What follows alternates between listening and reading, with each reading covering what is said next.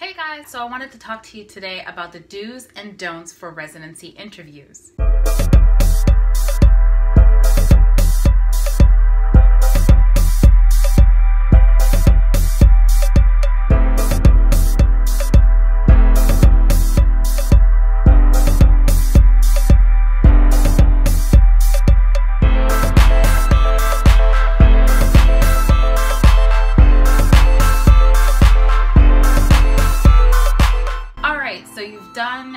School, graduated, you've applied to residency programs, chose your specialty, of course, and now it's time to do your interviews for residency programs. Some of you guys may be in the midst of your interviews right now. So why should you listen to my opinion? Well, I did have a successful residency interview process. I was able to interview with quite a few programs. Most importantly, my top three choices were ones that I interviewed with and ended up getting one of my top three choices. So I'm very happy with where I ended up. And I also had the opportunity to become a chief resident in my last year and had the opportunity to interview medical students who wanted to become a part of our program. All right, so what is the setup for an interview? There's so many different styles. There's the traditional interview where you're one-on-one -on -one with somebody. There's another interview type where you have one person asking you the questions, but another colleague is just kind of sitting there observing how you may fidget, how you may appear to be lying. There's another style where you may have maybe a group of 30 interviewers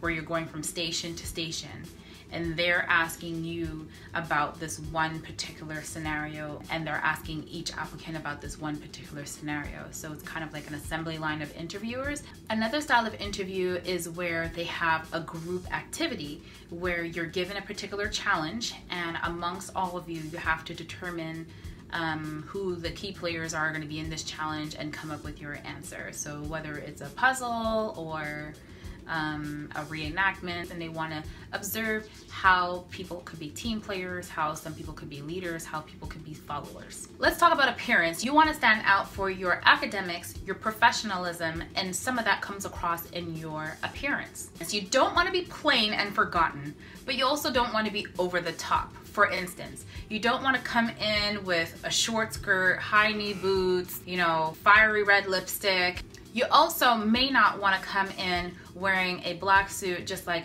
several of the other candidates. It may be good to have an off-color suit um, instead of a shirt for women, maybe you can wear a blouse with a little bit of a detail, nothing too loud, maybe a little frill if you're into that. The less distractions, the better. So as you can see, I don't have, you know, tamed hair today, but it is pulled back. Basically, you don't want your hair to be a distraction. Same thing with people with long hair or braids. You might have a tendency to play around with them. If you don't, that's great. You just don't want whatever is on your head, in your ears, on your fingers to be a distraction. You can wear nail polish, obviously. You want it to be well done, but you don't want it to be loud and outstanding where you're talking like this and all they can see is your nails. And while most people don't really care about the details of what you're wearing, they may subconsciously remember you because of a distraction. They also may be subconsciously annoyed because of a distraction. Tapping your foot, tapping your pen, chewing your gum. Your body language is a large part of your appearance. Make sure that you are sitting upright, you're not kind of slouching, you're not disinterested, looking down at the floor. Maintain eye contact. Make sure that you show that you're engaged in a conversation. Make sure that you are actually engaged in a conversation and not thinking about your next move. That's the most natural thing to be. And if you're not confident, make sure that you're working on your confidence towards this interview process it's really important to be confident in who you are. You made it that far. The fact that they called you in for an interview means that you've had many things on your application, not just one thing that they are interested in. So be confident, be happy that you're there, show them that you want to be there, show them why you will be an excellent addition to their program. When asked a question, make sure that you answer that question. Make sure that your answers are concise but not so short and not too long. What is your greatest attribute? Well, I think I'm a great listener. That should not be the end of your answer. I think I'm a great listener. Well, at the same time, I could be a great talker. Um, I listen very well. My parents say I listen well. My friends say I listen well. My colleagues say I listen well. Say I listen. You don't want to be too verbose. Keep it concise. Use an example when you're speaking. That gives a lot more credence to what you're saying. I do think that I'm a great listener. Patients have been able to confide in me during interviews during my psychiatric rotation, and they have complimented me in feeling comfort in speaking with me during the interview process. There is a short answer, it's concise, straight to the point. You displayed an example that also shows your clinical skills. Great. Act like you want to be there. You should want to be there be interested, find something that interests you in the program. There's got to be a reason why you applied, show it. Don't go in there expecting that they have read every single last detail of your application. Do expect that they've reviewed some of your application. You want to be able to convey some of the messages that are in your application as well as some of the ones that you couldn't get across in your application. This is a good time to dress up your application make a statement, make sure that they remember you and want you to come back. A great strategy is to keep in mind three points that you want to convey to each one of your interviewers. Three points that you don't want them to leave without knowing in that interview session. When discussing all the different applicants, they may be able to communicate more easily as to who you are, what they thought was great about you. You do want to have questions, good questions, not questions that they already answered for you or were in the reading materials that they provided you prior to your interview.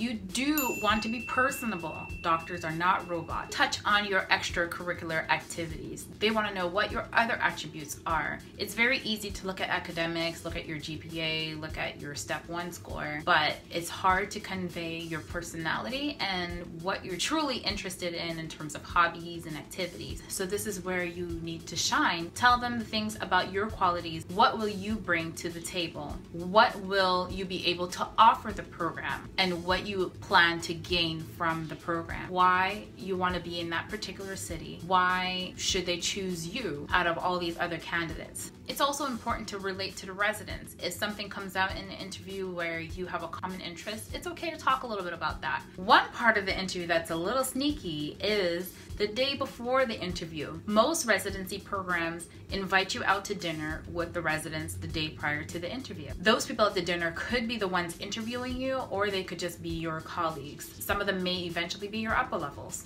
So don't think that because they're ahead of you that you're not going to see them again. They are vested in the program and they want to know that their lower levels would be able to be a good team player. So the pre-interview is a more laid back time. You know, you kind of want to let your hair down per se. Um, you're not expected to be very formal. Don't want to be trashy. You want to be maybe business casual.